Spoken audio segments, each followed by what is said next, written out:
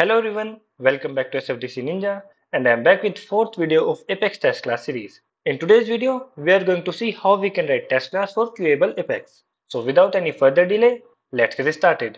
So this is our class. Guys, I hope that you already have a basic idea of Queueable Apex. Now the purpose of this class is to create a new contact related to a specified account and then update the account description field with the name of newly created contact. In this class, here we have a variable of account which will hold the reference to the account for which the contact will be created. This is the constructor of the class. Basically, it takes the account object as parameter and assign it to this variable. Guys, this constructor is used to initialize the class with the specific account for which the contact will be created. After that, we have this execute method in which we are creating a new contact record associated with this account. And at last, we are updating account's description by the name of this contact. So this is what the class is doing. Now the thing is how we can start a test class. I mean what data is needed for a test class. But before all these things, first let's create a test class. Copy this class name, file, new, apex class, paste it here and just add test. And to make this class a test class, we just need to use at the rate is test annotation here like this. Let's create our method. Public static void, let's say test queueable method. Similarly, we will use at the rate is test annotation here to make this method a test method. Now guys see, this class is creating a contact on an account. So the very first thing we need in our test class is an account record. So let's create an account record here. Account, let's say test account, new account, test account dot name will be test account. Insert it.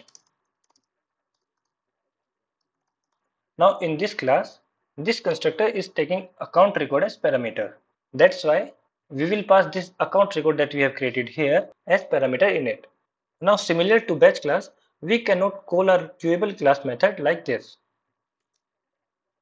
Uh, let's say if we do something like this, queueable dot execute.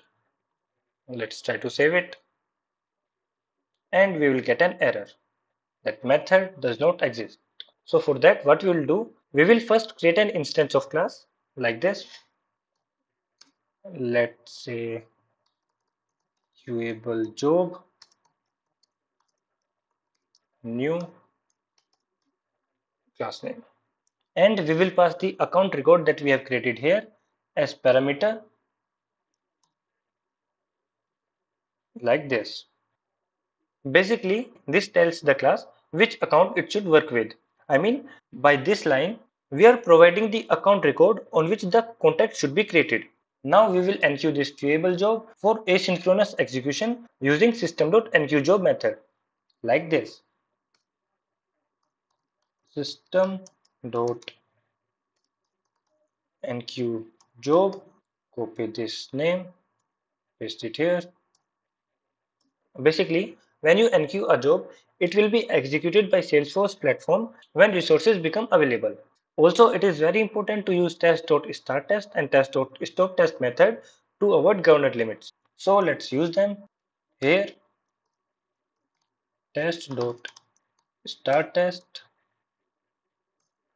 and test.stopTest. Now our next step is to verify that the contact was created or not. So for that what we will do? We will fetch contact which is related to this account in a list like this. List contact, let's say created contacts, select ID, first name,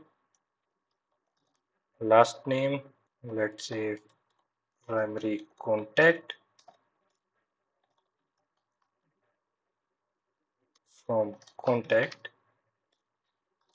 where account id equals to this account id and we will use system.assert equals to verify that the contact was created or not. Let's see how. Let's use system.assert equals. Guys see if a contact was created then it should be present in this list which means size of this list will be 1 that's why in expected parameter we will pass 1 like this. And in actual parameter we will pass the size of this list. So copy its name paste it here dot size. And if these expected and actual result do not match then simply we will display a message like this expected one contact to be created. So here we have verified the result for first operation of the class which was creating a related contact on account. Now it's time to verify the second operation which is updating accounts description by contact name. So for that let's search data of account which is created here. Like this. Account updated account select name id description from account where id equals to copy this account record name paste it here dot id and let's use another system dot assert equals. Like this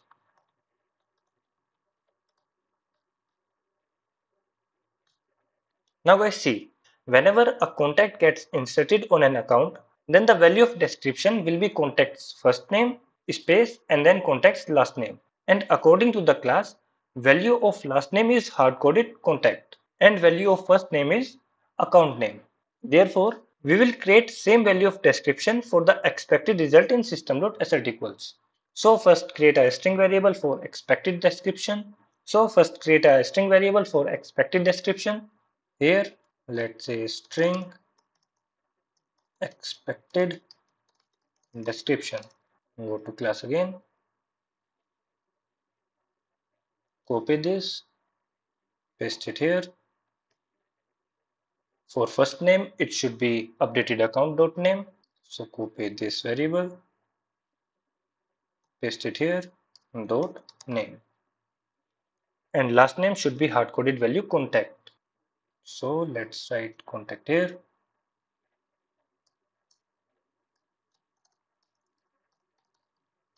And put this variable in expected result. Copy this paste it here. And in second parameter put the actual description value. Copy this account variable again. Paste it here. Dot description. And for the message we will write account description not updated as expected. Save it. And let's run it. Click on run test. So our test class has been passed with 100% code coverage. That's it for today guys and i'll be back with more interesting test class scenarios. Thank you and keep supporting